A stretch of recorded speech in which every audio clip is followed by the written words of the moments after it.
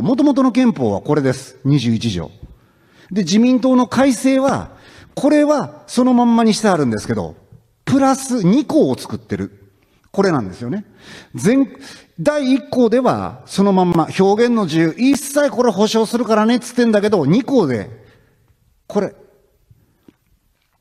ちゃぶ台ひっくり返してるんです。全項の規定に関わらず、公益及び公の秩序を害する。ちょっと待って。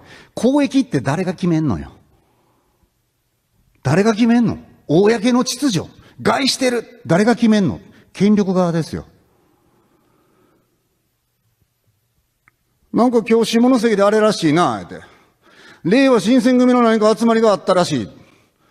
あの集まりは間違いなく公の秩序を害するような、そういう集団だろ、みたいなことを決められちゃったらそうなるんですよ。お縄ですよ、お縄。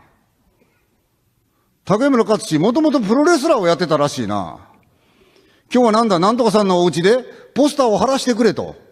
ある意味で、反射的な令和新選組のポスターを街中に貼るという行為そのものがっていうことで、ポスター活動を一緒にやってる人たちがお縄になったりとか。ありえますよ、当然。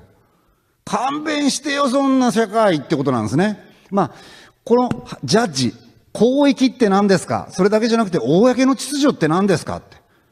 それを決定するのは誰かって言ったら、権力を持ってる方だってことです。じゃあ、間違った権力の使い方をするような人間たちが、トップに立ってるとき、これ悪用されることないですか？だからこそダメなんですよ。こんなことさしちゃってことですね。はい。